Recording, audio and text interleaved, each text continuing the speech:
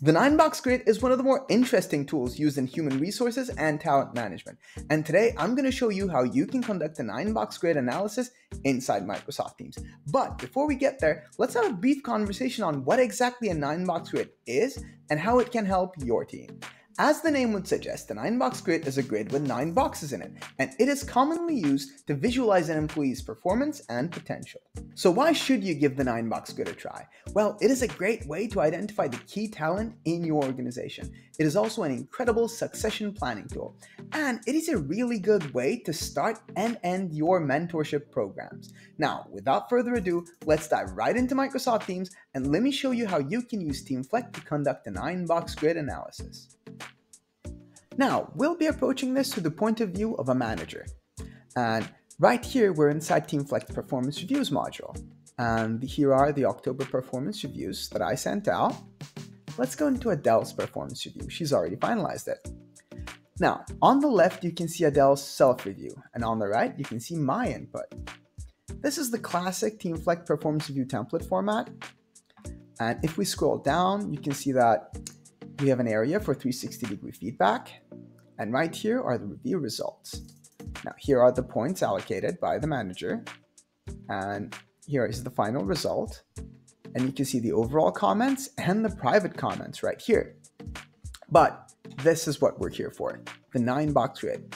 It already comes integrated into the performance review template. And I've marked Adele as a key talent.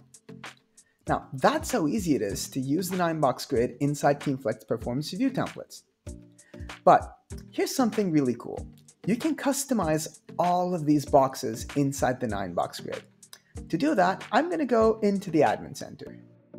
And inside the Admin Center, I go into the Reviews, and look, I'm clicking Configure 9-box Template. And now I can change the text inside the grid.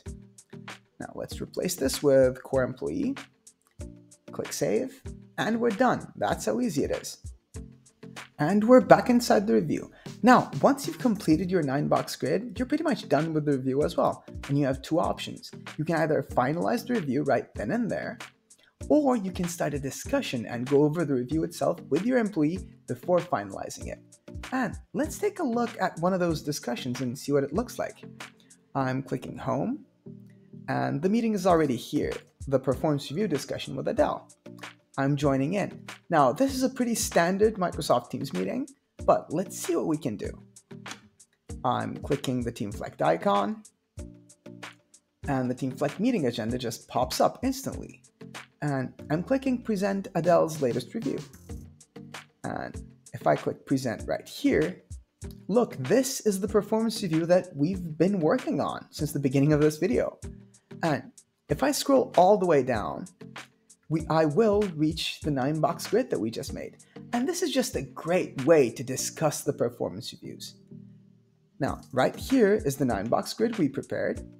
Now, you may not want to share the nine box grid with the employee. You, want, you might want to keep it private, and you can definitely toggle this setting on and off. But again, this is just a brilliant way to discuss your performance reviews with your employees. Now, let's leave this meeting and let me show you how you can access the 9-box grid through the user page as well. I'm going into user search and I'm going into Adele's profile. Clicking Adele. And if I scroll down, once again, I can see the 9-box evaluation right here. And if I click on it, I not only see the 9-box grid that we just made, but I can see all the previous 9-box grid evaluations as well. Simply put, this is just a brilliant way to keep track of your employees' progress through time. Now, this is not just a place where we view results, we can edit them as well. Or we can click Create New Evaluation and create another 9-box grid evaluation. And let's place Adele somewhere on the grid again. And once I click Save, it should pop up on the right like so. Now, I strongly recommend that you use these 9-box grid results throughout an employee mentorship program, from the beginning to the end. Based on where an employee ranks on the 9-box grid, you can start forming mentor and mentee relationships and pairing people up. Now, last but certainly not least, I want to share with you the reports section. I'm going into Teamflect Admin Center, selecting reports, and then going into reviews. And once again, we're going to be scrolling all the way down for the 9-box grid part. But look at all the different data we have, such as average scores by department or score distributions overall. And right here, we have the information on the 9-box grid results. Now, as you can see, I've only given two people the position of high potentials. And if we click right here, we can see that those are Alex and Grady. But overall, that's how the reporting section works. And that brings us to the end of this use case scenario. We hope you found it helpful and feel free to reach out to our staff with any questions you might have. TeamFlect. Build teams that deliver.